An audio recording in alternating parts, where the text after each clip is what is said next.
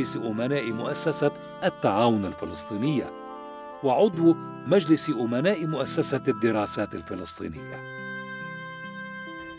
الحقيقة سعيد خوري أو أبو توفيق أو العم سعيد كما أصدقائه بينادوه تعود معرفتي فيه إلى ما يزيد عن ربع قرن.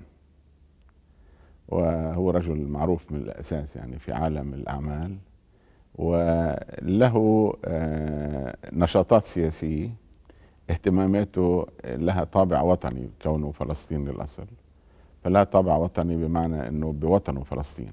عنده اهتمام كبير بالأمر وعنده اطلاع وعلى علاقة بالقيادات الفلسطينية كلها سوا. آه، له نشاطات عديدة في مجال خدمة القضية الفلسطينية في مجال خدمة أبناء وطنه الفلسطينيين. بساعدهم بالعمل بساعدهم مساعدات اجتماعية بالدراسة بالتعليم. بتسهيل أمور حياتهم بالبلدان اللي هو متواجد فيها حيث شركته ممتدة على مساحة الوطن العربي وفي جزء بأفريقيا وفي آسيا وفي الغرب أيضا الولايات المتحدة وخلافه. فالرجل بدون أدنى شك أنه رجل مميز. له احترامه له موقعه له آه، مصداقيته في العالم العربي وبعالم الأعمال. من رجال الأعمال المعدودين في العالم العربي اللي هو يعتبر آه، لكثير من الناس آه، قدوي بصدقه صدق تعامله بنشاطه بدأبه على عمله بملاحقته لأعماله بمصداقيته بتنفيذ الأعمال اللي التي تناط به بشكل حسن وجيد. مما جعل للشركة اللي هو مساهم فيها وبإدارتها سمعة طيبة في عالم المقاولات.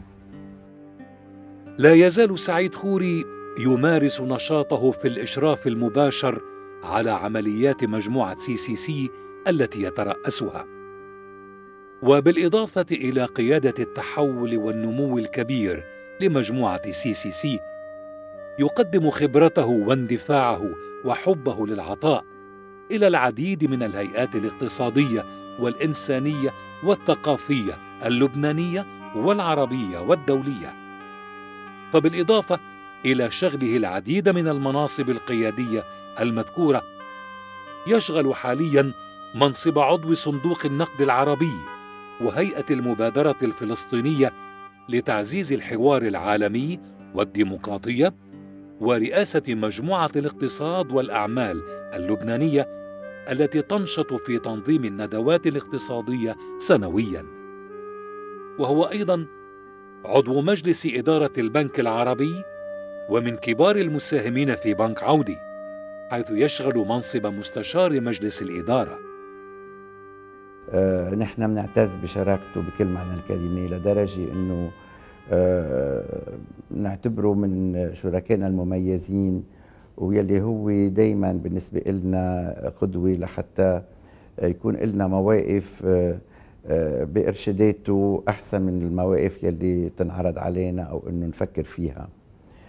دايما حكمته وتفكيره السليم عم بيساعدنا لحتى أنه نتقدم بالطريقة يلي هو تقدم فيها ونجح فيها. فهالمبادئ هذه يلي كثير أنا بعتز فيها آه، آه، بمعلم سعيد كشخص بتمنى إنه كل واحد منا إنه يتميز فيها كمان ويكون هو قدوة لنا يعني آه، على هالأساس. إضافة إلى ذلك يشغل سعيد خوري منصب عضو مجلس أمناء مؤسسة بيت لحم واشنطن DC. وكذلك منصب عضو مجلس إدارة شركة انتويل EC البحرين وكانفست كوربوريشن ان في في كندا والشركة العربية للتأمين على الحياة وضد الحوادث الأردن وشركة القدس للتطوير والاستثمار والعديد العديد من المؤسسات والشركات في لبنان وفي أنحاء العالم. ما في إنسان إلا عنده نوع من الطموح. بس تختلف. طبعا طموحي ما له نهاية. الطموح بالنسبة للشركة بدي إياها تصير تنافس الشركات العالمية. هل بالعالم العربي تصير تقدر تقوم هي بأكبر عمليات لحالها من دون ما نجيب شركات أجنبية؟ تنافسهم تنافسهم الطموح العائلي الحمد لله موفق في عائلتي ولكن همي إنه يضلوا على هالعلاقات القوية. أنا بقرأ كثير وبدرس كثير المؤسسات الكبيرة بتضاين جيل جيلين. نادر المؤسسات العائلية. ما بتضاين أكثر من ثلاث أجيال. بعد ثلاث أجيال بتروح. لا خلافات ولا قصص وهذا. فأملي أن أولادي وأحفادي يضلوا ماشيين على نفس الطريقة ومثل ما أنا وحسيب الصباغ ابن عمتي كنا يكونوا كلهم هن نفس الشيء ويضلوا على الطريقة ويقوموا بهالشركة. ويضلوا أحباب ويضلوا محافظين على الأسس اللي مشينا عليها مشي.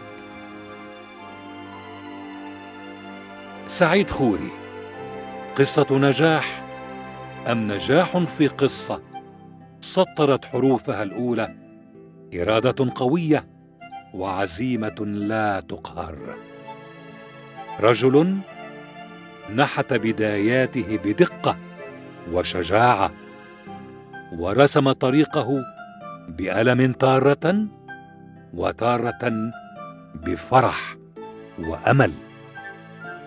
فكان حضوره أكبر من المساحة وطموحه أعلى من القمم.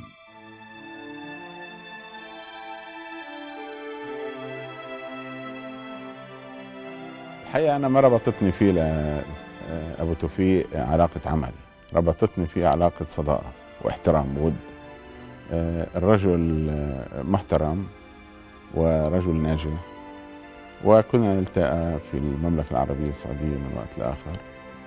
آه، في آه، كثير من الأمور في كثير من الأحيان كنا نتشاور ببعض الأمور وكن في أمور قبل ما أجي على رئاسة الحكومة خصوصا. يعني في أمور كان ياخذ رأيي فيها وأمور أنا اخذ رايه فيها وبدون شك إنه رجل مميز ورأيه الواحد من المفيد إنه يسمع له لأنه رجل لديه خبرة ولديه نظرة ثاقبه